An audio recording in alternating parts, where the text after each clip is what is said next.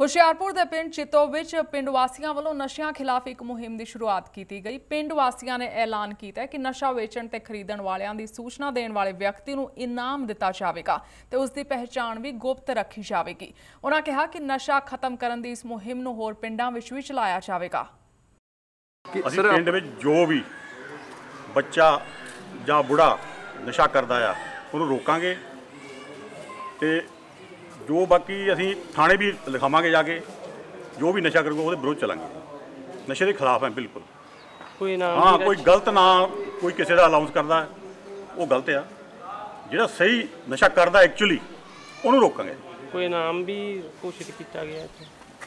ਅਸੀਂ ਨਾਮ ਜੋ ਸਾਨੂੰ ਦੱਸੂਗਾ ਵੀ ਨਸ਼ਾ ਇਹ ਬੰਦਾ ਕਰ ਰਿਹਾ ਉਹਨੂੰ ਇਨਾਮ ਵੀ ਦੇਵਾਂਗੇ ਉਹਦਾ ਨਾਮ ਗੁਪਤ ਰੱਖਾਂਗੇ। ਇਹ ਅੱਜ ਪਿੰਡ ਚਿੱਤੋਂ ਦੇ ਵਿੱਚ ਇੱਕ ਨਸ਼ੇ ਵਿਰੁੱਧ ਮੀਟਿੰਗ ਕੀਤੀ ਗਈ ਹੈ। ਪਿੰਡ ਵਾਸੀਆਂ ਨੇ ਸਾਰਿਆਂ ਨੇ ਇਕੱਠੇ ਹੋ ਕੇ ਕਿ ਜੋ ਨਸ਼ਾ ਅੱਜ ਪੂਰੇ ਪੰਜਾਬ ਦੇ ਵਿੱਚ ਫੈਲਿਆ ਪਿਆ, ਘਰ ਘਰ ਦੇ ਵਿੱਚ, ਪਿੰਡ ਪਿੰਡ ਦੇ ਵਿੱਚ ਨਸ਼ਾ ਫੈਲਿਆ ਅਸੀਂ ਨਹੀਂ ਚਾਹੁੰਦੇ ਕਿ ਇਹ ਲਾਹਨਤ ਸਾਡੇ ਪਿੰਡ ਦੇ ਵਿੱਚ ਵੀ ਆਵੇ।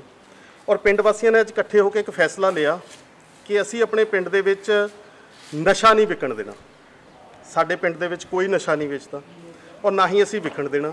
ਅਗਰ ਕੋਈ ਚੋਰੀ ਛੁਪੇ, ਕੋਈ ਸਮਾਜ ਵਿਰੋਧੀ ਅੰਸਰ ਨਸ਼ਾ ਵੇਚਦਾ ਹੈ, ਤੇ ਅੱਜ ਇੱਕ ਪੰਚਾਇਤ ਨੇ, ਨਗਰ ਨਿਵਾਸੀਆਂ ਨੇ ਇੱਕ ਫੈਸਲਾ ਲਿਆ ਕਿ ਅਗਰ ਇਸ ਪਿੰਡ ਦੇ ਵਿੱਚ ਕੋਈ ਨਸ਼ਾ ਵੇਚੇਗਾ, ਅਗਰ ਉਹਦੀ ਕੋਈ ਸਹੀ ਜਾਣਕਾਰੀ ਦੇਗਾ, ਤੇ ਉਸ ਬੰਦੇ ਦਾ ਨਾਮ ਵੀ ਗੁਪਤ ਰੱਖਿਆ ਜਾਏਗਾ, ਉਹਨੂੰ 5000 ਰੁਪਇਆ ਨਾਮ ਦੇਵਾਂਗੇ ਔਰ ਉਸ ਬੰਦੇ ਨੂੰ ਆਪ ਫੜ ਕੇ ਅਸੀਂ ਪੁਲਿਸ ਹਵਾਲੇ ਕਰਾਂਗੇ, ਕਿਉਂਕਿ ਅਸੀਂ ਚਾਹੁੰਦੇ ਹਾਂ, ਸਾਡੀ ਸੋਚ ਹੈ ਕਿ ਅਸੀਂ ਪੰਜਾਬ ਨੂੰ ਨਸ਼ਾ ਮੁਕਤ ਕਰਨਾ ਚਾਹੁੰਦੇ ਹਾਂ। ਦੇਖੋ, ਇਹ ਚੀਜ਼ ਕੋਸ਼ਿਸ਼ ਹੈ।